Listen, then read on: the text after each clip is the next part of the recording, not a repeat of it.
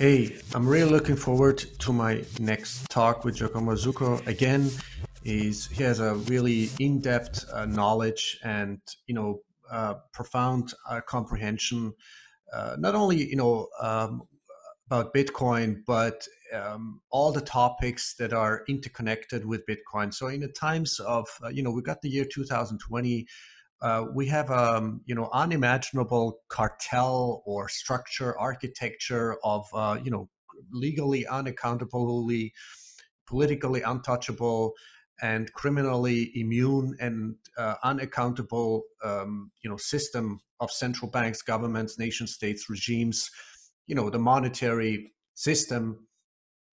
And everything that is uh, flowing out of this, would it be you know laws and and uh, you know actions and enforcements and coercion and aggression and violence, uh, you know, and unjust, unconstitutional, unethical actions that are taken upon uh, uh, on this foundation. Uh, you know, who is suffering at the end of the day? You know, who, how long can we endure this? I mean, we have lost at least hundred years of uh, not only monetary, economical, financial, but uh, but especially um, social, uh, scientific, technological evolution. We've lost a lot of uh, you know evolutionary potential of, of of technological innovation, of freedom, uh, of prosperity, joy, and pleasure. So it's really let's just boil it down. Let's break it down. This is why I, it's not a, philosoph- philosophical talk. Actually, a really, really practical question. Uh, why, you know, how can we how can we educate more? How can we be more effective? What are what is you know what is the one and only effective action? And and um, you know and understanding and comprehension uh, and and you know evolutionary process uh, we can take individually and collectively as totality as human uh, civilization. So um, yeah so i'm really looking forward to my talk with giacomo zucco uh, thanks so much for, for your questions again on Twitter. I'm um, going to discuss these, of course, with him at the end of the of, of our talk. But uh, first of all, you know, let's go into into depth and really understand the question. Uh, you know, before looking for answers. You know, why Bitcoin? Um, what are the real root causes? Of all the problems, the symptoms, the suffering, the pain, the inequalities, uh, the unjust uh, things that are going on, the un, you know, the unconstitutional, unethical, criminal things that are going on. Why why are we enduring this? Why you know why how can we how can we help? How can we educate more? How can we be more effective? Are we ready for an unexpected uh, rise in demand? for an unexpected, you know, critical adoption of humanity um, uh, for Bitcoin. All right, so here we go. Without further ado, my interview with Giacomo Zucco. The one and only original Giacomo Zucco. hey, Giacomo, thanks so much for your time again and coming on my show, the Total Bitcoin Show. How are you doing, man? Fine, thank you. My pleasure to be here again. Yeah, listen. So we had a really great talk. Uh, it, it, was just uh, amazing. Uh, the last talk we had um, on uh, your, you know, seven-part series. Um, uh, what was that like? A long title, like a brief overview from the caveman to the Lightning Network, something like that, right? Network. Yeah, yeah, yeah. Discovering yeah. Bitcoin was the overall title because there was a discovery process, and it was from uh, from fishing caveman to the Lightning Network.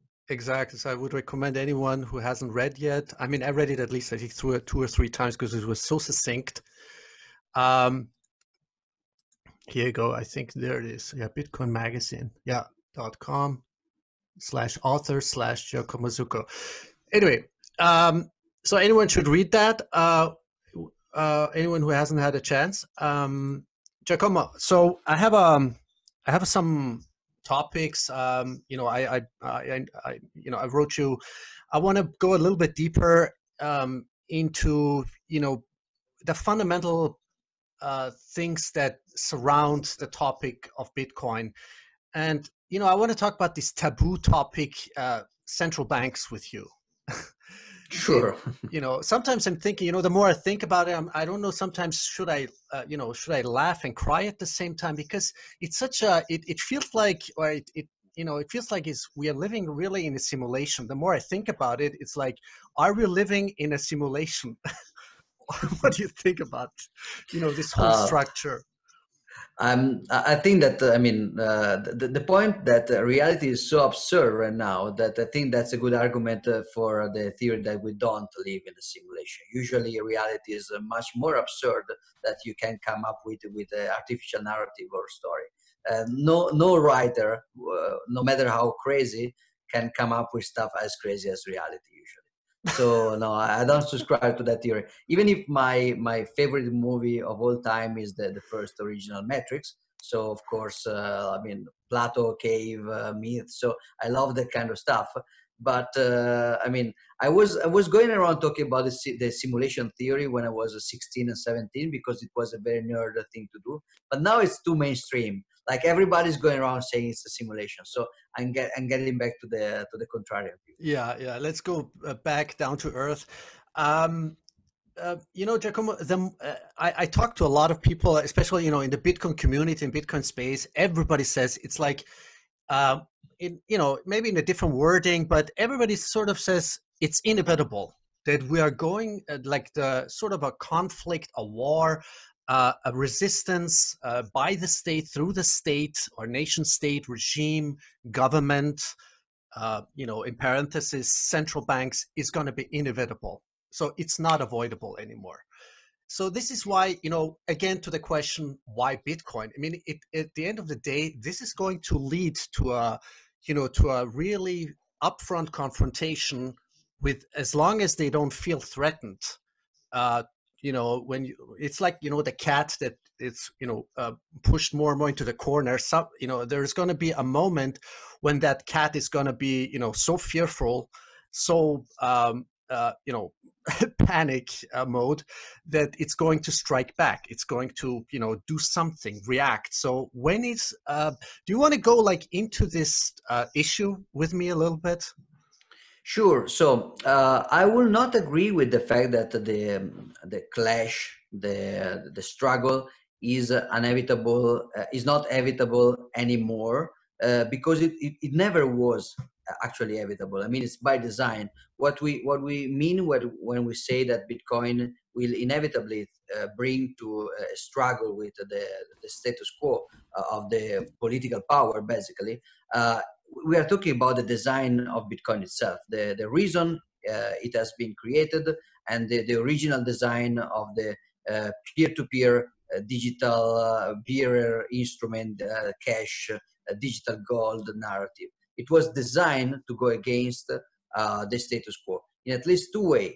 The first one is a, financial freedom and financial censorship, censorship resistance. So the fact that with cash, with physical cash or physical gold, I can uh, pay whoever I want without uh, having any idea of who I'm paying, and without him, especially having any idea of who is paying him. Uh, so the the whole thing, I like to say, I, I think I tweeted that out a few weeks ago a few months ago. The whole notion of KYC, know your customer, is a completely uh, ignorant, economically ignorant notion because the real point about money is that uh, the customer uh, he, he, will still need to know a little bit and to trust the merchant because otherwise the the uh, the, the, products that you buy or the services that you buy uh, they could be not good or they could never be delivered so uh, the customer needs to trust and to know the merchant a little bit that's why you have usually several customers for one single merchant but the merchant doesn't have to know the customer. If the merchant knew every single customer and trusted every single customer, then the merchant would not need money at all. He could just exchange favors and, and barter products and favors or credit. The reason that the money is so functional to expand merch, uh, to expand the market and to expand the exchange is that the money makes uh, uh, not necessary the, uh, the trust in the customer and knowledge of the customer. So that's absolutely natural with uh, face-to-face physical cash, but it's completely uh, impossible to replicate with with, Uh, with basically centralized uh, uh e-commerce uh, e-payment solutions because the the way money evolved historically and politically uh, was basically as an instrument to control and censor and manipulate and, and, and cage and tax and mint the economy by the state. So there is this transaction freedom part and transaction privacy part. And the second part, of course, is more substantial, is something that even physical cash cannot protect you from, but only physical gold can protect you from, which is the manipulation of the of the monetary base uh, directly of the mon monetary supply and especially uh, the monetary base. So uh, gold, uh, you, which you cannot inflate uh, at will, uh, versus versus fiat money that which supply is completely arbitrary. So Bitcoin is designed to go against the status quo. The reason that uh, we are not necessarily seeing any clear, obvious, catastrophic struggle anytime soon, or maybe in some very, very uh, niche scenario, maybe not even ever, uh, but I don't think that's that's very likely. Is that uh, this is a social dynamics, uh, and social dynamics usually they have uh, this kind of um, this kind of you know second degree effects. It's like a 3D chess. So the fact that that uh, you know, it's like the atomic bomb. So the atomic bomb inevitably destroys uh, whole cities and countries. But if you have it and I have it, now you can dest destroy my city, but you will probably not because you know that if you do, I can uh, likely destroy yours. So we have this kind of uh, uh reassured mutual destruction, which actually can create a disincentive to attack. So um, the fact that something can do something uh, may even prevent the attempt itself. So there is this kind of strange negative feedback that can keep an equilibrium for many many years in a in a but it's not a peaceful equilibrium. It is a, a tension equilibrium. Yeah. It is like a, it's like a, a, a growing uh, cold war between Bitcoin and, and central banks. So uh, yeah, central banks will. I mean, central banks need to attack Bitcoin, and they will need to attack Bitcoin harder and harder and heavier when Bitcoin will become bigger and, and, and more powerful. But if they do, and if they fail, they waste money making Bitcoin stronger. So there is this kind of anti-fragility of the Bitcoin system, which makes maybe a little less uh, uh, obvious, uh, at least the timing of the attack.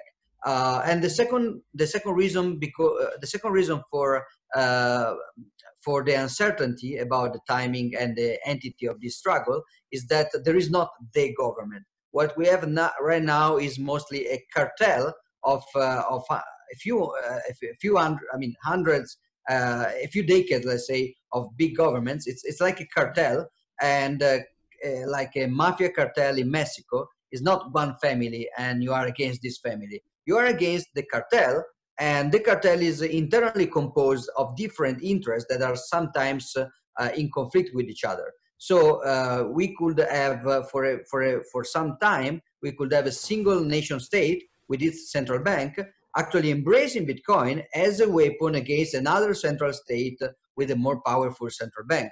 So the fraction, the internal internal composition of the Bitcoin's natural enemy, which is the government and the central bank, uh, actually makes uh, possible that there will be some kind of internal internal nuances to that. Uh, but overall, yeah, uh, it's basically uh, I would say Bitcoin is by design uh, disruption of the central banking system and of the financial surveillance system. So there is no peace possible there. but the the way in which the war will develop is not obvious, is not straightforward. We don't have to expect uh, I mean, Eric Voskuil, we were talking about him before, he theorized a very, very clear cut phase mechanism in which you have the honeymoon phase in which uh, uh, the, the, state is okay because Bitcoin is legal and nobody cares. So there is just this mis misconception about what Bitcoin is, and you can maybe try to pretend to accept it. Then there is like the, the real struggle black market phase in which actually you rule Bitcoin uh, illegal, you outlaw Bitcoin everywhere, and then there is the competition phase in which the government says, okay, I cannot really stop Bitcoin because it's designed not to be stopped, but I can try to make it hard to, to work. I can try to double spend it, censor transaction, uh, take control of hashing power. So I can spend money in order to attack it. And uh, what, I, what I think about this theory is that logically, this is the correct theory. This, this is actually the, the first degree um, social dynamic that is in place.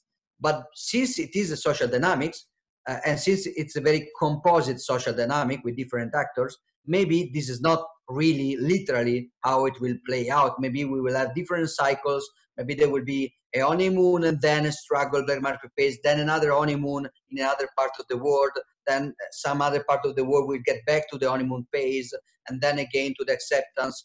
Uh, this is similar to the, I think that Antonopoulos was the first to make a comparison between uh, acceptance of Bitcoin and the five uh, uh stages, stages, of elaboration of, of uh, right. loss of Kubler-Ross, right? So even these stages, they are pretty good descri- uh, as a description. So you have you have denial, Bitcoin doesn't exist. Rage, Bitcoin will be stopped because they are criminals.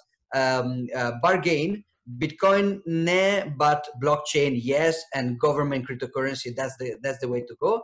And and we are mostly at the end of this phase. Then there is the depression. Okay, this blockchain stuff was just a scam, and cryptocurrency uh, bubble was just a bubble, uh, and nothing is nothing is interesting here. And then acceptance.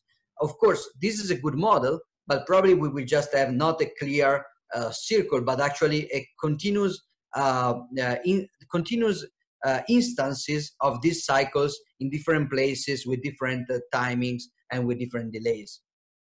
Okay, so oh, wonderful. So, um, so it seems to me that we are jumping sort of in between these five stages. Sometimes uh, I don't know. It makes the impression to me that you know uh, uh, there's different segments, uh, like a dynamic interplay of all these groupings and and mindsets um, discussing with one another. Well, let me let me ask you this. So at the end of the day, because we're hearing um, you know black market money, I think a lot of people associate black market with criminality, you know, or or anything that is nefarious. But actually, Bitcoin is the ultimate black market money for billions or the total humanity, isn't it?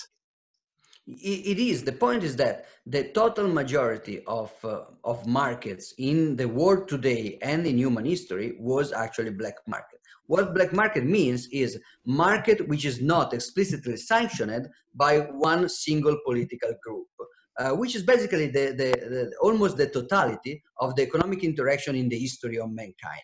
Because the point of exchanges and economies is that uh, you cannot wait for a single central planner to uh, to pre to preemptively authorize you to exchange based on his uh, peculiar interest and uh, or uh, or morality or uh, or or, or whatever. So the, the, point of the market is that uh, is a decentralized process in which everybody tries to maximize utility, exchanging with everybody else, and you don't have a single a single mafia boss that can say you can exchange with him only that quantity with that price uh, so even in places like uh, the Soviet Union, when in theory you have a completely centrally planned economy, that's that's the theory, but that's not the reality. What you have in the in the reality of the Soviet Union is a huge uh, black market, and the more the white uh, legally uh, legally um, allowed for market is strict and uh, and planned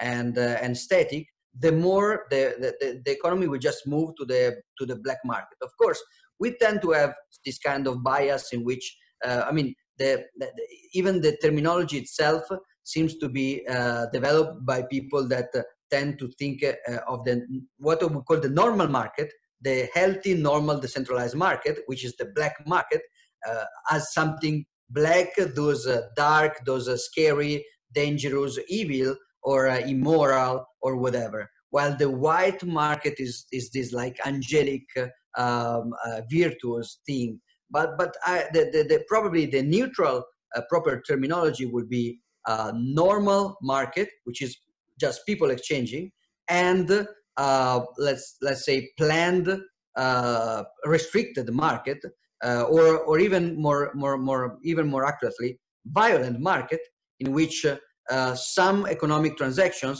are violently um, banned or violently persecuted by one uh, one specific uh, violent organization like a mafia or a government or a, a terrorist group or, or, or, whatever. So if you have uh, uh, if you have uh, ISIS or or Cosa Nostra in, Sicilia or the Italian Repu- Republic or North Korea or a single group that uh, that actually authorize a single set of transaction and use violence to rule out everything else, that's what we call white market, but it's actually a restricted, a violently restricted market. While black market is, is actually everything else. So it's just the market. So uh, when you say criminality, um, the, of course, you know, every every time we have to discuss and educate and uh, and do the stuff that we do and uh, and analyze and research, we need to do some terminological choice choices, and they are not easy because, for example, one choice will be to just uh, rebut and reject this kind of terminology because uh, it has a negative connotation. So yeah. now this is so Bitcoin is not for black market. Uh, it's for a normal market. So you reject the label. The other mm-hmm. uh, the other possibility is ju- you just accept it and you and you and you basically uh, put it upside down. You you you embrace it and you just uh, and you just uh, overthrow the the narrative. right. Can I inject? Can I inject yeah, sure, an sure. addendum? addendum? No, that's really important what you're saying because so that means um, uh, it's a medium of exchange. So, so it should be for for any kind of free exchange as long as nobody is harming nobody else. Like for example, whatever cannabis, you know, like we could say this is criminal, but why should it be? Yeah, it's a terminology problem. So why is it criminal? Just because somebody says that the government the the whatever the the uh, uh the, the, the you know corrupted uh, judicial legislative system i mean who says that you know? So i think we need to go away. Yeah you're totally right. We need to really distance ourselves from this uh, yeah uh, yeah, it's a, it's a dynamic choice, right? It's a strategy choice or even a tactical choice sometimes. A few years ago, I was I was always like, no, no, Bitcoin is not. I mean, you don't get the point. Bitcoin is not really for criminals. Nowadays, I usually answer when some, some somebody says that yes, Bitcoin is exactly for criminal. It is especially for criminals, and we are all criminals because if you think about that, every single action that we do uh, since we, we wake up in the morning until late nine it is criminal, uh, it is literally illegal in some places of the world. For example, if you are a woman and you're driving, that's criminal somewhere. If you are if Sorry, you are a man, you are reading. Yeah. If you are reading a Bible, that's criminal somewhere. Mm-hmm. If you are if you are or if it's not criminal somewhere in the world, it was for sure criminal sometime in some part of the world. So if you are homosexual or if you are if you are just whatever, if you are drinking wine, whatever you're doing, was or is illegal somewhere for some specific political power. That's a completely arbitrary distinction. Hiding Jews during the Holocaust was illegal. Freeing slaves during slavery uh, was illegal. Um, um, heroic moral actions were illegal. Neutral normal action were illegal. And also bad, uh, actually, uh, seriously, ethically criminal action are sometimes illegal and sometimes they are not. So that's a completely wrong kind of. Uh, if with criminal we need we mean illegal, everything is literally illegal somewhere and sometimes. Of course, there is another things another thing to be said about uh, Bitcoin and criminality. Uh, is it would be a little bit unfair, a little bit dishonest to, to just stop saying that uh, Bitcoin is for criminals and every action is criminal because the real point is that Bitcoin is a tool and so even nefar- even actually nefarious actions that me and you will agree they're not just illegal, they're actually really evil by by logical uh, definition of uh, of uh, human rights and property. So from a jus naturalis point of view, they would be evil action, for example, killing people or stuff like that. Uh, well, Bitcoin as a tool will also help people. It will not do anything evil, but it will help people by uh, doing anything evil uh, continuously. Uh, but it's the same as oxygens. I mean, how do you uh, how do you rob a bank without breathing oxygen? How do you uh, how do you beat your wife without uh, without having hands? How do you how do you do any kind of ransomware info, computer crime without having a keyboard? I mean, cars, shoes, if if uh, if criminals in the in the moral sense and not just I mean in the legal sense we are all criminals by some definition and in the moral sense if very very nasty criminals will not use shoes I will actually think there is something wrong with uh, the way shoes are conceived and, and done. So it's good for shoes that even criminals can use them because otherwise they will just be suspicious as a tool.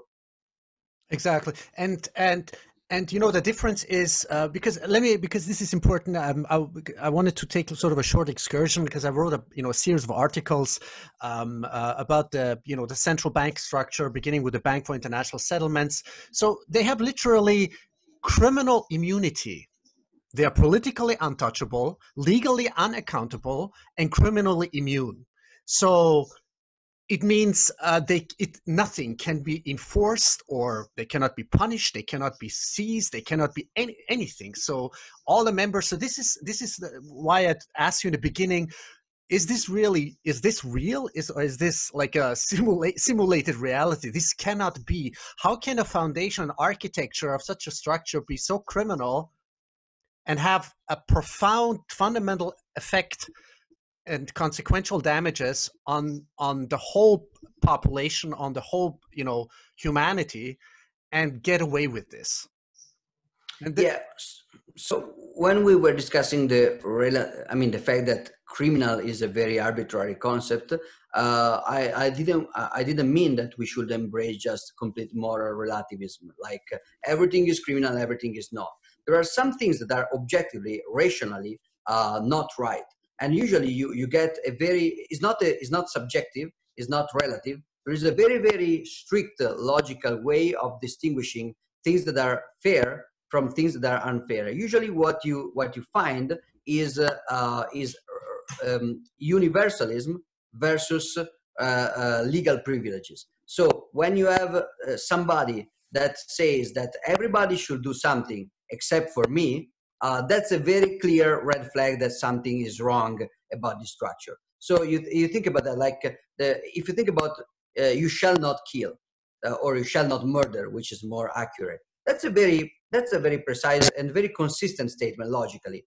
Uh, you shall not kill mur- murder, so I will not murder you. You will not murder me, and that's okay. Well, if, but if you think about about that, you shall pay your taxes is very, very different because what that means is, is you should not come to my house with your guns to ask for my money, but I should instead come to your house asking your money, otherwise threatening you of violence. So there is always this the, the point of statism of uh, this religion of the modern state, which is not really something very ancient, is is very recent, is uh, it, it, developed in the last centuries and is has become is is getting mainstream in the last decades actually. Uh, it was probably the peak of statism was the the middle of uh, of 20th century. So we have just passed from a few decades the the very high point the the, the whole time height of statist fanaticism uh, fanaticism.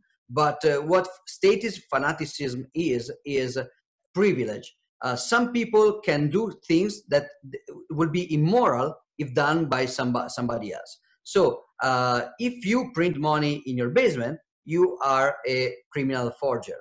Uh, if I print money in my central bank, I am just saving the economy and I'm I'm I'm I'm just doing I'm I'm just practicing monetary policies. And uh, if you go to your neighbor and you point a gun and you take his money, that's extortion. But if we when we do that, and uh, if you don't open the door maybe we shot your dog and then we shot you and then we take your children. Or that maybe like in waco in the us we will just kill everybody including women and children. Also that's just that's just a price for civilization. So central banks are are a legal cartel. Uh, it's not that the action they do it's intrinsically wrong. Uh, creating uh, creating debt uh, change i mean offering a monetary uh, I, I mean for example we discuss scam coins and shit coins a lot. And often we say that uh, uh, shit coins are stupid because the monetary policy is intrinsically uh, inflationistic because you can create uh, as many shit coins as you want. And even within the single shit coin, like in Ethereum, they can just create money at will.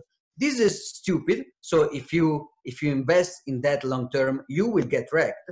But it's not strictly uh, immoral from it's not criminal it's not aggression because uh, you do something stupid and stupid people will will will buy into that and they will suffer because of that which is consequence of responsibility while central banks are different they are printing money and they are leveraging leveraging uh, legal tender laws. That means that you are uh, violently forbidden from refusing to take that money as a payment. So it's it's it's a crime, and you get in jail if you refuse to get paid with that kind of money. Yeah. So they are they are they are creating this kind of legal privilege, which is I mean, history is full of that. If you think about the American Revolution, it started against the, the, the first part of the revolution, the Boston Tea Party, was not literally against the the the United United Kingdom uh, crown.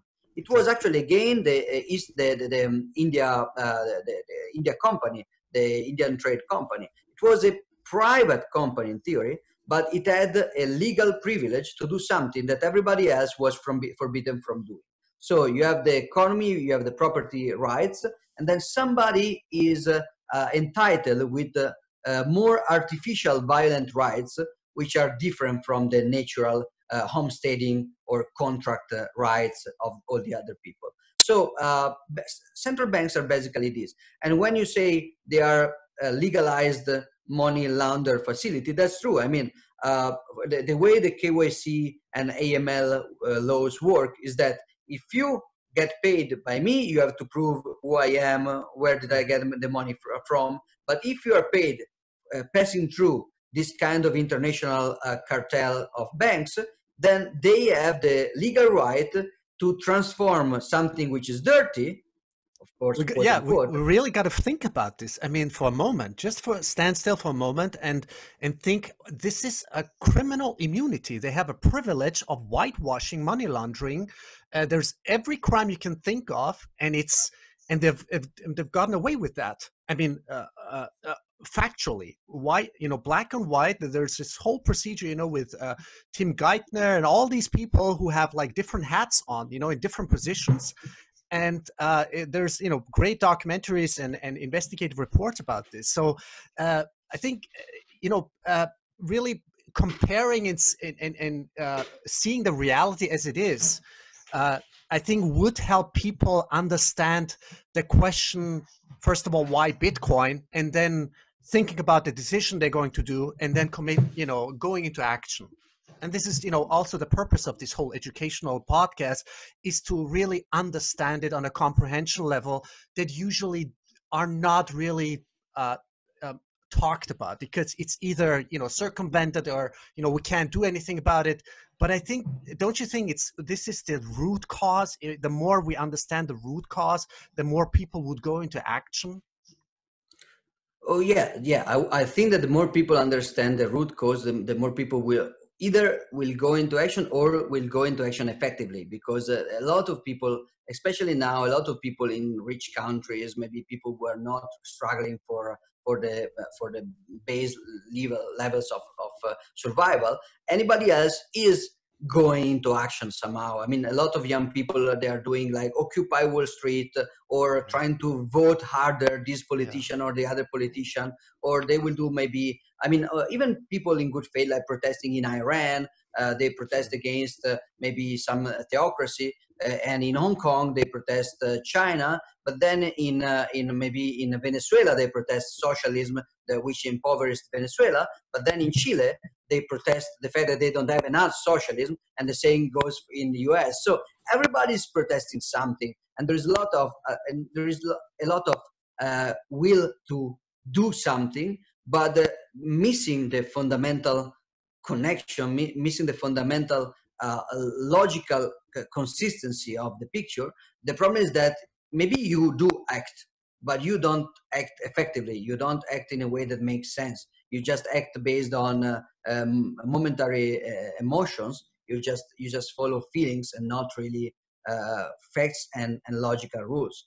Uh, and, and, one one one litmus test for that is actually just logical consistencies versus double standards. So what you said before, I mean, you look at, at I mean, there are these Canadian banks, they actually launder money from the most violent Mexican uh, drug cartels ever. And then there is one guy uh, that creates a, a, peaceful website for trading uh, recreational drugs and other stuff, the Silk Road. I mean, people people doesn't know, but people don't know, but the most uh, the most sold items on the Silk Road were actually books. So number one items sold on the Silk Road were books, and uh, and then like third there was like uh, uh, like marijuana, which is by the way legal now in many U.S. states. So the guy who created the, the young boy who created that website in order to have a peaceful and as honest as possible trade among uh, consenting adults, he is just is just now kidnapped and kept in a jail for they, they want to keep in, in, in uh, they they sentenced him Ross Ulbricht to two life sentences without parole for creating a website, creating and managing a website, right. while uh, while a bank manager actually laundering money for uh, the uh, real violent drug cartels in Mexico, they are just I mean they're okay. Maybe they will they will pay a fine, but then they will get a bonus and they will just pay the fine with the bonus and it's okay. Okay, great. Um, you know, we hear often uh, as as soon like for everything there's a time. So uh, we often hear in our in our discussions or in, with other people when I have discussions like, okay, when the time comes and the people are in need, when they have the need for that, they go into action. You know, they're going to adopt it. Uh, they're going to start using Bitcoin. You know, uh, start educating themselves about Bitcoin. But you know, I always say, you know, could have people known that Elon Musk, you know, could have whatever create uh, built that uh, uh, Tesla car.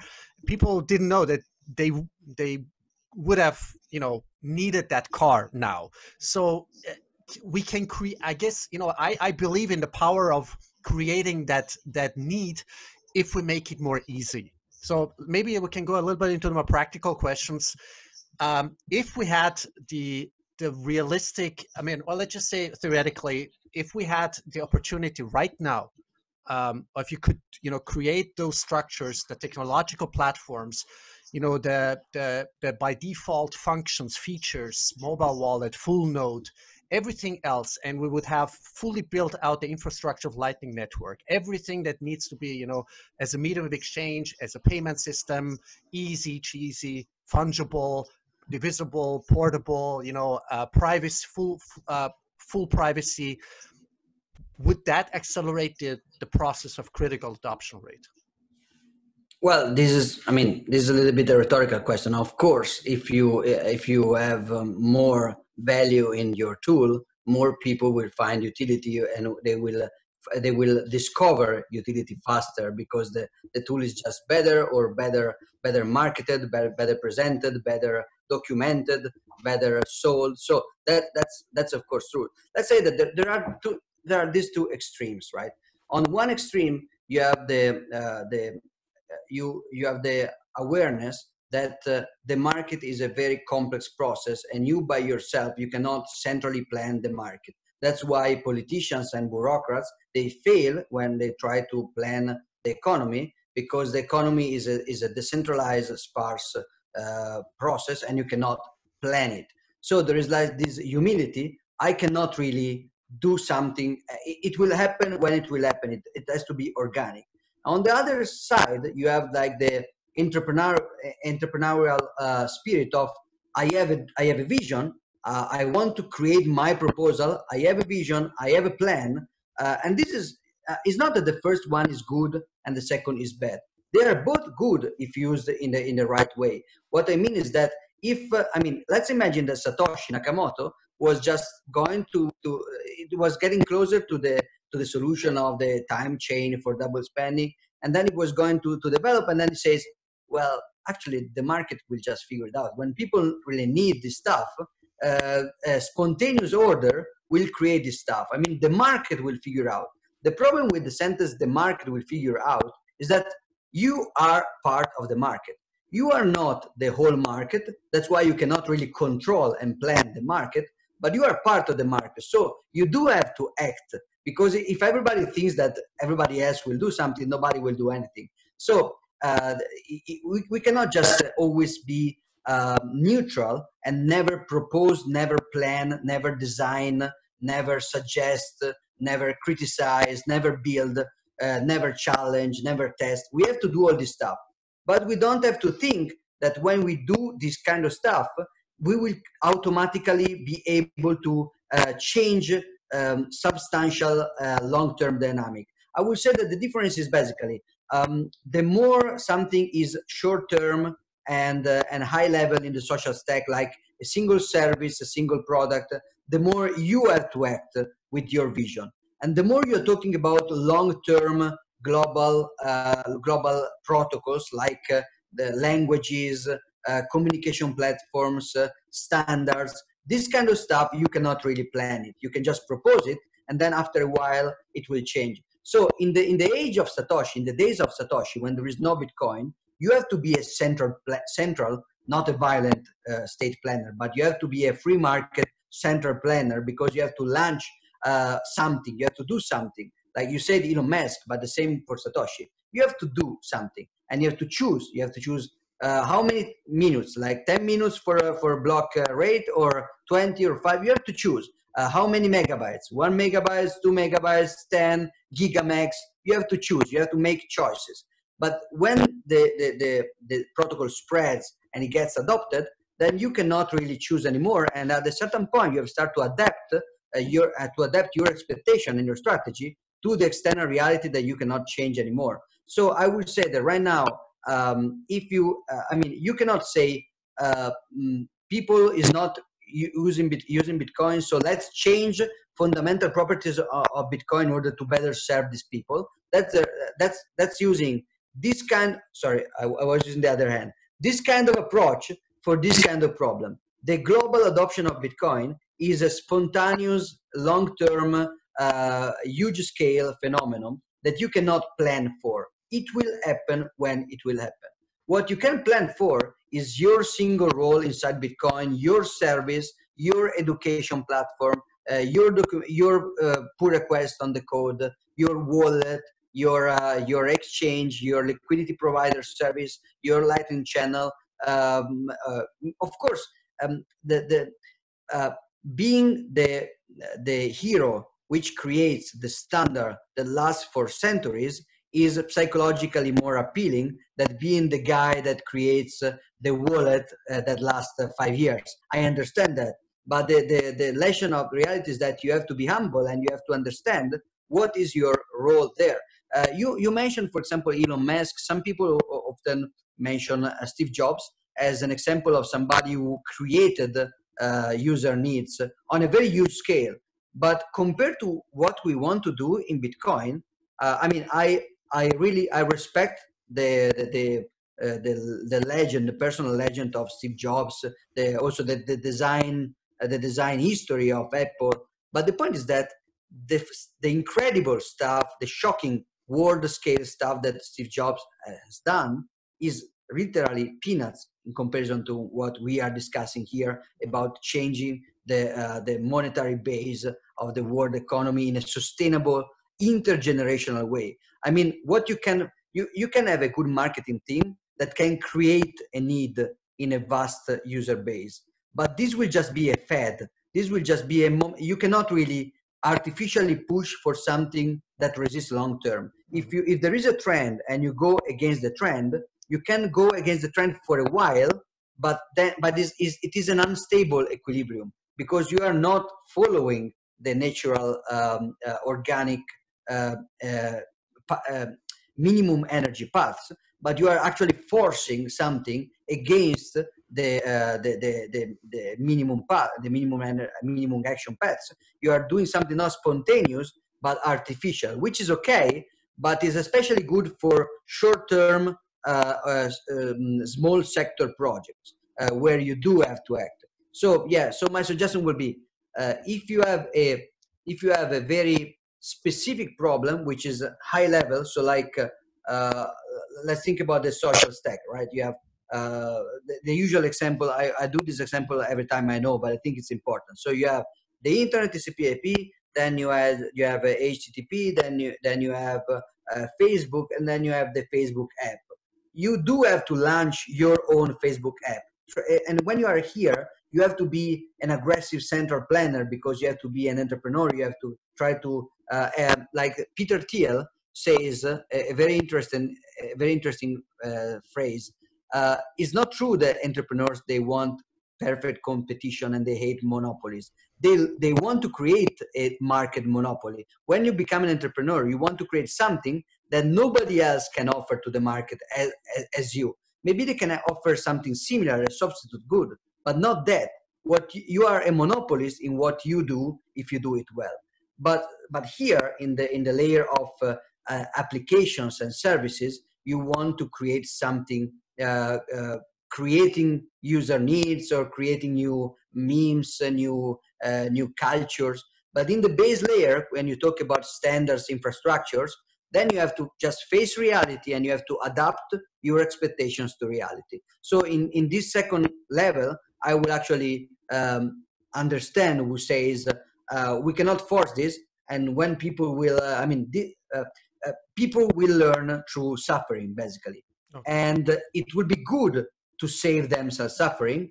And maybe in some in some degree we can but uh, the, uh, we, we, cannot change the fundamental uh, equilibrium of incentives Okay, no, I got you. Um, it's just that um, I mean, I, I, unfortunately, I have no other uh, example, but I'm thinking of this interview in 1999 where Jeff Bezos said, you know, uh, where people didn't really understand. The journalist was asking, like, "What are you doing? You know, why are you doing this?" And he said, "Hey, I'm I'm satisfying really the the real needs of the customer out there." You know and people just didn't understand what he's literally doing. So i guess when the focus is on the r- real satisfaction uh, uh, the fulfillment of the needs of the of the real or potential client or customer out there then you know as an entrepreneur you are much much more exponentially successful. But going back you know to bitcoin i'm just saying i was thinking you know of this of this of these phases that are uh, sort of accompanying uh, this whole process of adoption of, of potential crypt- critical adoption rate of bitcoin like for example iran. During the crisis of iran just recently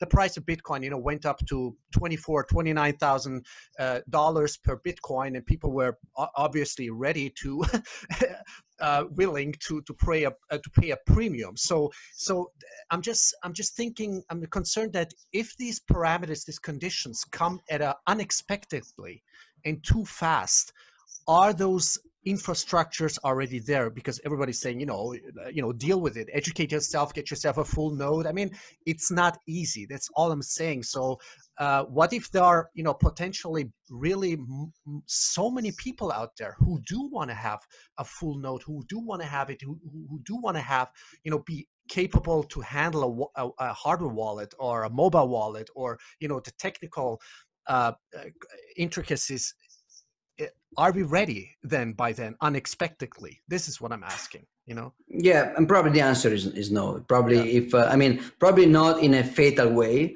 I mean uh, if uh, if any major uh, planetary uh, economical meltdown happens tomorrow uh, i think that eventually bitcoin can be fixed in time in order to accommodate an alternative but it will take a lot of time a lot of suffering and a lot of mistakes a lot of waste uh, of course the infrastructure is not even remotely ready for something of that proportion that's why that's why i mean uh, on one side bitcoiners they should feel like a really uh, pro collapse like uh, I, I understand that the, the I understand that the status quo is unsustainable. I, I have an alternative which I know, which I own, and which I study, which I promote. So I look forward to see the status quo collapse in order to get to alternative. But the reason that we are not really like that, and we don't really wish for the for the for a, a soon collapse, is that uh, you're right. The infrastructure is is absolutely not ready for that yet. Of course, uh, a simple answer. Uh, of course, we have to work in order to make it easier. But but this is a this is a simple goal but it's not a simple strategy because the goal is very clear and very simple but the way to get there is super complex because the point is that it's very let's talk about full node. Full node running is crucial because if all the world uh, if, if a great part of the world economy moves to bitcoin but nobody runs validating nodes then we basically have a trusted system which is very very easy to manipulate or censor you just uh, take over the i mean in, in the Bitcoin design, if you take over hashing power, you cannot control the protocol. You can only censor, temporarily censor transaction, what Eric Voskuil was describing as the, the competition phase. So you have the majority of, of uh, hashing power. That's bad, but it's not so bad. You can censor some transactions until the black market will just over uh, uh, overrun you with higher fees, and you can double spend until the counterpart will just require more confirmations for, or they would just use Lightning with more confirmations. So the market will adapt to this kind of attack. While if people is not running validating nodes, then they, they and for example they are just trusting the miner majority to decide which block is valid, like they do in uh, altcoins, for example, um, uh, where nobody uh, runs a node. In that case, you, you control the majority, you control everything, which is very, very bad. So we have the problem that we need the majority of people, the economical majority of people, of course. It's not a matter of how many nodes, but how much money uh, is accepted through that kind of validated node, uh, running a full node. So what do we do? Uh, on one extreme, we have the perfect node setup, which is uh, over Tor, compiled deterministically from source, which is something that uh, it's unrealistic to think people will will be ever able to do. The majority of people will never be able to to read the the, the open source uh, uh, code, uh, uh, go through all the code, and compile from source directly on a clean Linux machine, um, maybe air-gapped. I mean, you cannot really do something safe in a generalized way. The other extreme is we just give everybody a trusted a trusted box with a full node, which is a, I mean every full node is just built by by you, and you just give them away, and you're the new Steve Jobs, and everybody in the world will now have your full node. Uh, this is not ideal either because now you are the centralized point of control, which is super easy to to target and to compromise and to uh, blackmail or or buy off or, or, or anything like that. So uh, we have to to go in between. It's like um, in a way, uh, uh, in a way, developers they will have to learn from from non-specialized user how to go more and more uh, simple and clear and collapse some. Uh, I mean, maybe users they don't want so many choices. They want uh, fewer choices. We are more clear, and you have to reduce the degrees of freedom you have to reduce the, the stuff you have to automatize some processes you have to give up some kind of idiosyncratic things like command line. I mean i know that uh, i mean doing something on command line is very safe because the surface of uh, surface of attack and of mistake is very reduced while graphical interfaces are bad for security. But uh, a, a gen- generation of people that that was born on a cell phone uh, they will never go back uh, I'm, I'm sorry understand the nerd dream of having right now when I teach courses on Bitcoin, I teach people to do command line stuff because right now we don't have alternative. But I realize that it's unrealistic to think that everybody will do command line stuff. Yeah. On the other hand, though, we we, de- we do have to expect that users it's not like in a, you know Silicon Valley startup will say the users they are the king. We have to make users happy and we have to adapt. In Bitcoin, that's not the same thing. I mean, we have to expect that users will have to adapt to Bitcoin way and way more because, uh, of course, the lazy, easy thing is just not to verify anything at all. But we need people to verify. We need people not to trust. We need people to be uh, resilient or anti-fragile if the service, the centralized service goes down. So we cannot really uh, run, uh, we cannot really over satisfy or try to over please the user uh, degrading the security, but we cannot expect a, a, level of security so high that nobody will actually follow that. So it's a very it's a very subtle equilibrium. When we did the um, uh, last May, there was a, a Understanding Bitcoin conference in Malta, and uh, and there will be another one at the end of May this year, uh, again in Malta.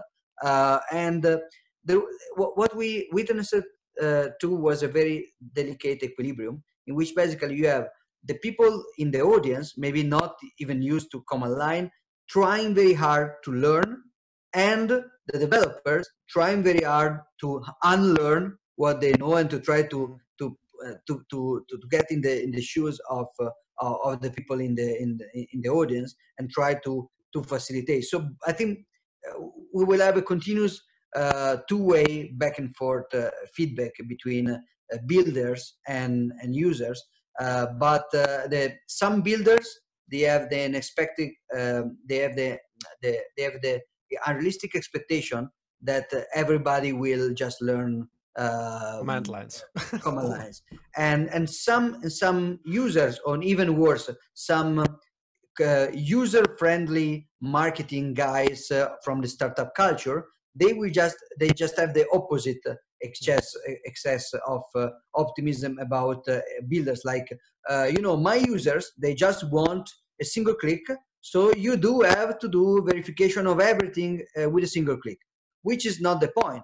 Uh, i think a good example is uh, driving a car especially in europe where there is like there is not the automatic you know the automatic um, there is the, the leverage for to, to changing the, mm-hmm. the chain is, is kind of complex. You take some time to learn that. It's complex and it's not something that uh, uh, somebody is expected. I mean it's not easy but everybody who wants to go around. They eventually have to learn it. And if you think about people in the in the 19th century with uh, with uh, horses and carriages the expectation that everybody will learn this strange thing with uh, with uh, explosive stuff put inside the box and then they explode and they move a wheel with electricity. I mean, it's crazy, but what happens that the whole world learn to do that. But even more, like writing and reading. Uh, uh, writing and reading always was a super technical, difficult, and natural uh, elite uh, secret for for millenniums and for centuries uh, in the in the recent in the last millennium. And then uh, a few decades ago, everybody kind of learn, started learning to read and write everywhere. Uh, it was a giant effort, but it was a, a necessity. So um, uh, I, I, would say if there is no other way, it's not really unthinkable that grandmas will learn command line because grandmas learn to read in order to sign uh, banking documents, insurances. Uh, so people can learn incredible stuff if they really need it. Right. Transition is the key, and that's what I'm concerned about. How can we make this transition, if it is especially unexpected, you know, events or you know, crash in Europe, you know, meltdowns. I mean, there's just too much going on right now, which is un- right now unforeseeable. You know, so we cannot make prediction. I'm just saying, uh, how can we, you know, help or or you know, support people, educate themselves, preparing themselves, and um, you know. Um, getting them ready for for this for this transition phase. Um, let me ask you, uh, uh, you know, for because um, I don't, we both have don't much much time.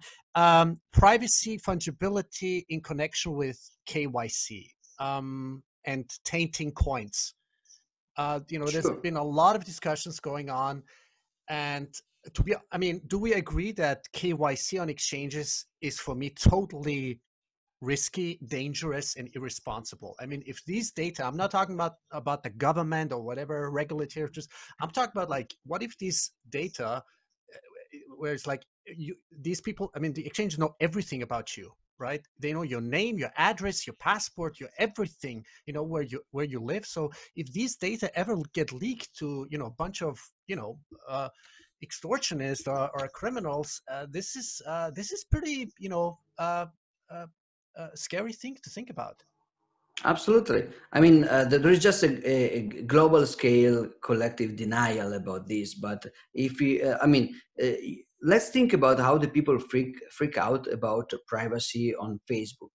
But what we're talking about on Facebook, on Facebook, we're talking about public data that we want to share with somebody, and we are scared that people will aggregate and sell this data to uh, third parties that will conduct some kind of analytics with the ultimate goal to sell us some kind of as advertising which is closer to our preferences which okay may be invasive and annoying but actually i mean the worst case scenario they're just selling you the stuff you want. So uh, the, the, the, point here is that we, we overreact to this level but now j- just move from this level to some level up. So yeah uh, so a central party having your data is bad because it's dangerous because it can be uh, sold or, st- or, stolen or lost uh, or leaked or whatever. Then on top of that there is this particular subset of services which are the financial services, which is even worse because in that case, as you said, I mean, if you know the final, if you know how much a guy is uh, paying, that is more sensitive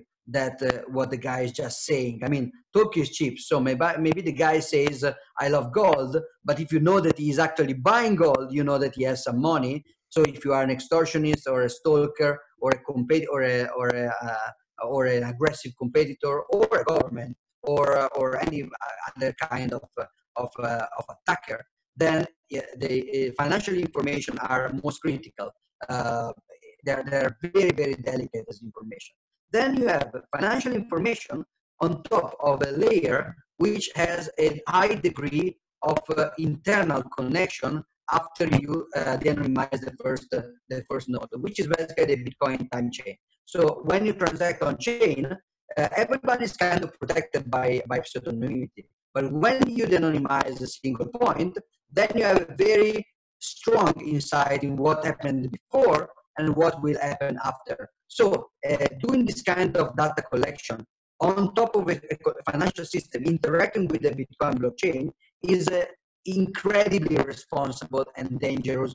And if you, I mean, if you uh, if you put all your personal data in uh, in a social network platform, that could be bad. Okay, if you do that in your bank, that's more dangerous.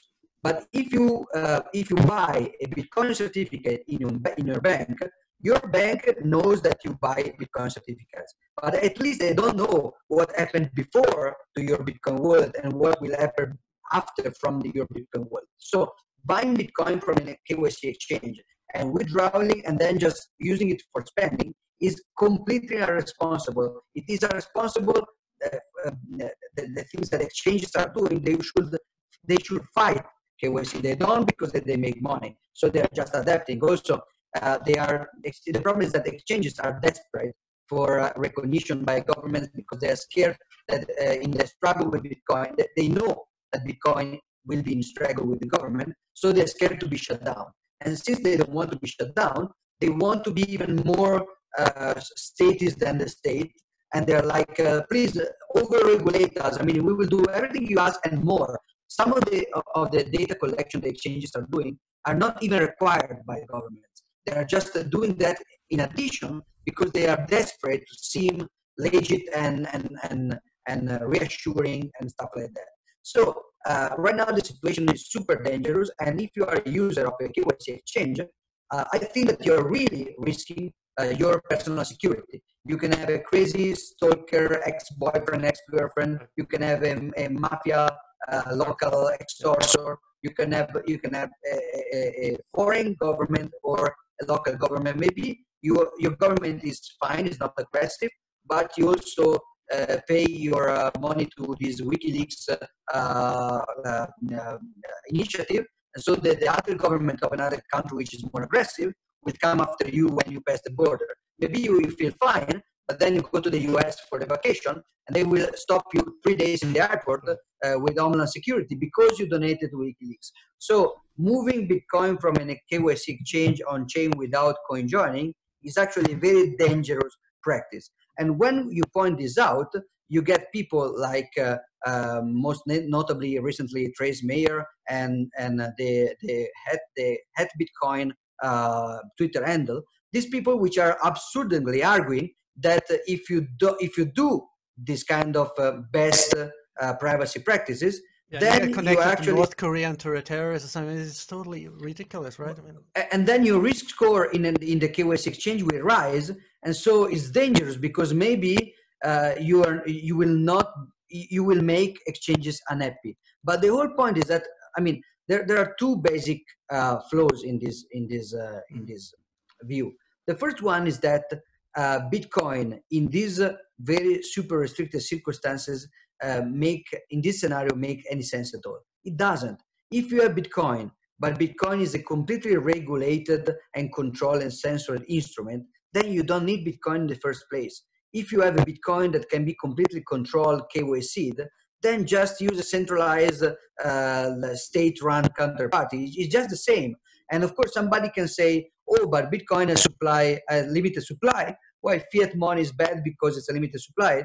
But I, uh, come on, fiat money before had a limited supply as well because it was gold standard. And then the government just decided that they were just taking all that gold uh, with the, with the with the confiscation act, and uh, everybody was registered, and so everybody was confiscated. So if everything is controlled and censored, uh, even the, the the, the the capped supply, even the limited supply, uh, is not a reliable uh, feature anymore. It is it's only as reliable as long uh, the government wants it to be reliable. When they want to change it, they will change it because they will just make illegal to go through some, they will make mandatory to use a inflationary Bitcoin and they will just blacklist non-inflationary Bitcoin. So what's, what's even the point of thinking that you can have a regulated compliant Bitcoin? Bitcoin is black market money. Bitcoin is defiance. Of course, you can want to invest on the Bitcoin experiment without yourself needing any kind of censorship resistance. So maybe you are a Swiss investor, a traditional Swiss or UK London City investor, and you want to speculate on the uh, asset Bitcoin because you understand the black market money can be interesting on a global scale on the long run because it is government resistant, is politically neutral. So because Bitcoin is impossible to regulate, then you who are a regulated person who don't care about uh, censorship resistance at the personal level will invest on that. So you go to your bank and you buy an ETF or you buy a certificate, you buy ETN. Basically, you buy you buy Bitcoin flavored risk, but you don't need Binance or or or anything else. You don't need Coinbase for for. Uh, you just use your London bank. Uh, ask your London bank to buy uh, shares in a company holding Bitcoin. There, there are a lot of those. So if you want Bitcoin as a speculation without the defiance of the of the global surveillance, uh, just use Bitcoin uh, synthetic certificates. If you do want Bitcoin, uh, KYC is not only stupid but it's also very very dangerous, and you should coin join and open Lightning channels, and you should always do like UTXO selection and uh, and you you shouldn't uh, uh aggregate still, UTXOs. Yeah, but Giacomo, it's it's still really uh, way too complex. I mean, Wasabi for me, to be honest with you, I did installed it. I'm I'm I'm I'm just using Samurai and the Whirlpool, and I'm hoping that the mobile, uh, you know, mixing by default is going to come. It's going to make a lot of things easier for for for average noobs out there. So I'm hoping for that, and you know, for more decentralized structures to buy non KYC Bitcoin. Just for a conclusion, let me. Um, I want to you know continue with these aspects a little bit, go deeper. Maybe next time, I'd love to because uh, Eric Voskuil really would love to do that. He's right now also traveling traveling, so I thought uh, would be a, would have been a good chance. But maybe we can continue this next time. Uh, just for the fun part, Giacomo. So our my followers and listeners. So Victor Aram asked. Um, uh, Bitcoin, you know, does it have the potential to reach 10 million per coin uh, in in the somewhere in the 2020s in dollars terms? Do you want to comment on that? In, in today dollars terms, it's uh, it's kind of uh, I mean, it's, it's not difficult, right? You take the, the supply, uh, even if you if you go very large with the supply like 21 million for sake of simplicity, and you take the demand that, that is needed for that. It's not impossible. I think it's a little bit unrealistic uh, because I mean that will basically take more than you will have to take over most of the black market worldwide, most of the gold market, and some of the financial derivatives. So I guess it's a little bit aggressive as an estimation. Uh, it's not completely impossible, let's say. Okay, cool. Um, do you have an opinion uh, about the stock to flow model by Plan B?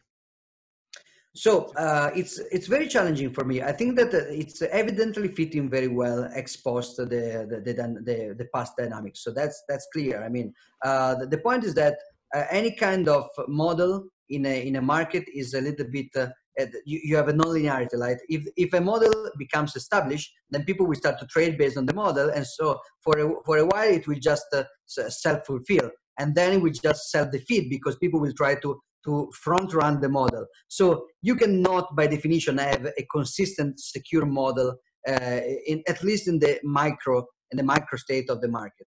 Overall as a as a heuristic for the super long term uh, Uh, average dynamic of the market, I think it's a very good uh, it's a very good uh, logical model. Uh, it makes sense, at least in some specific circumstances, and it's it has been proved to be kind of fitting. Of course, you you cannot trade based on solely on that because the point of trading is that if, if everybody knows a model, people will try to front run the model and we just invalidate the model. I'm all, totally with you then. Uh, what do you think about the books, The Sovereign Individual? I mean, I read it partially, but do you know the book? I know the book. I yeah yeah I read it and loved it before Bitcoin actually. Uh, before I discovered Bitcoin in 2000 in uh, late 2012, beginning of 2013, uh, I was actually starting to go. I mean, uh, the, the year before I started to read about Bitcoin, I was in Panama helping rich Italian investors to get a Panamanian residency in order to uh, to have a double residency. So uh, um, so the the sovereign individual was all about geographical arbitrage uh, so it, it was uh, the, the, the main thesis of the book is technology changes political power and the new technologies of information are changing the, the, the, the balance of power in a way that the government that was uh, all powerful and impossible to, uh, to, uh, to, to overcome is now actually almost getting weaker than the rich, well connected, and well organized individual. The individual can actually go around shopping um, governments. Uh, but uh, so I, I, really agree that technology is doing that. The the word after Bitcoin, I think, is a little bit different from the word in the sovereign individual. In there are a few pages of the sovereign individual book that are actually are actually uh, predicting Bitcoin in a way. Like the, the author is really talking about uh, this kind of digital cash that will also make uh, uh, state-run currencies obsolete. But I think what he didn't really predict is that in a world where you can uh, really converge online with the same degree of privacy and censorship resistance that you have offline with cash, then maybe you don't even need so much is uh, so much uh, geographical arbitrage. What I mean is, uh, ten years ago, I was uh, obsessed about where I will live, with what passport, with where I will put my company, where I will put my bank account when and if I will have money. Unfortunately, back then I didn't have money, so it was just a theoretical exercise. But uh, now I'm I still think about those things, but not as much uh, as the uh, not as much anymore because I mean mm, I don't have Bitcoin, of course, but if I if I had any Bitcoin, uh, where are they? Everywhere, nowhere. Yeah. So it's, it's yeah. ge- geography is not as much as important right. as in that book, but it's still a good level of protection. Right. Okay. Um, how is the layer three development going? That's another question from somebody else. Yeah, so there there would there would be a lot to say about this, but let's let's oh, yeah, cut let's, it let's cut it out. Okay, it, it, it's it's going well. It's going well, and I, I suggest you to follow the uh, LNPBP organization on GitHub, mm-hmm. where some people starting from the work on RGB, which is basically an asset level layer on top of Lightning Network, so it's a sort of layer three technology, and then there, there are just already some ideas about some layer three technology like message passing on top of Lightning and so on. And so there is there is a lot of stuff going on there, and right. uh, it's it's very interesting. I think that uh, uh, uh, um, uh, just as Bitcoin is so deep as a layer that you should not mess with it, and you should always be uh, slow and safe and backward compatible and and um, adversarial and uh, and resisting to external influences and uh, as the same as the same uh, in the same way the upper layers like uh, layer 3 technologies you can really be experimental and mm-hmm. you can be more reckless and you can try out i mean most of the things that, they, uh, most of the things that people were experimenting with cryptocurrencies were are realistic but not completely uninteresting ideas the problem was the layer you cannot start your own money for every kind of silly application you think of. But you can try to put any kind of silly application in a upper layer on top of the existing infrastructure. You will probably fail, but but that's a better layer to fail and to experiment. Okay, gotcha. Okay, so there's uh, and the funniest question: uh, there's not going to be a uh, is there going to be a Zoox IPO Zuxi, Zux, Zuxi maximalism. no, let's no, yeah, let's put that aside. Uh, unconfiscate, unconfiscatable uh, event is going to be taking place, right? In in in Las Vegas. When is it going to be? When? So it it's uh, it should be like uh, uh 22, 23, the conference. Uh, mm-hmm. Let me check again. Let me check on the website. Unconfiscatable bitcoin.com. Uh, so I can tell you the date. Also because uh, uh, there is a, I'm also running a workshop yeah. Uh, before that. Exactly. So yes, yeah. the, the conference the conference itself is uh, is on the 20th. oh, sorry, no, no. So okay, conference overall is 20 to 23 of February. Right. So it's three days. Right. Where you do a special um, workshop for people who yeah. want, really want to go deep into like how to set up a full node and I mean everything from A to Z, right? So yeah, that's 2021. The workshop okay. is called Running Bitcoin, and the idea is to get people that doesn't even know how to do command line, and the goal is in two days to have them coming in with a laptop without anything on top of it. Then we will give them a Raspberry Pi and two hardware wallets and some connectors and adapters. And the idea is that they will learn what they are doing step by step. So they will not do a lot. They will install Bitcoin Core, validating Lightning Network. Maybe I will try to do JoinMarket, even if it's a little bit challenging, but we will try. And an Electrum setup for multi-sig. Uh, what you will come out with will be an experience to, in order to allow you to get into more depth in, of that. Yeah. So I really, I mean, uh, it's it's a paid workshop. So uh, I want to say this very clearly. We are asking for the first people registering, uh, uh basically, uh, what is it? I don't even remember. Probably one thousand dollars or something like that. Yeah. Yeah. So it's not. I mean, it's a lot. Uh, but I think that that's. I mean. It we, yeah. It's for, have, for, have, and for every noob, right? I mean, it's also for Bitcoin beginner. It doesn't have to be like an intermediate or advanced, or I mean, it's really yeah, yeah. no, this is this. Okay. Yeah, this is this gotcha. is conceived from scratch, and right. uh, and the idea is that people that are already passionate about Bitcoin as a concept, maybe they are traders, maybe they are political activists, maybe they are they are uh, financial guys, so they are they already understand why Bitcoin, but they don't really know how to start about how to Bitcoin so that's the the goal of the of the workshop right. So anyway um giacomo thank you so much. Giacomo zucco thank you so much for uh, you know taking your time. Hoping really uh, looking forward for maybe another panel talk with eric voskuil next time if sure, it's in any sure. way uh, shape or form possible. And yeah i hope to see you soon maybe you know face to face sometime soon at some event uh you know whether here in europe or any other continent.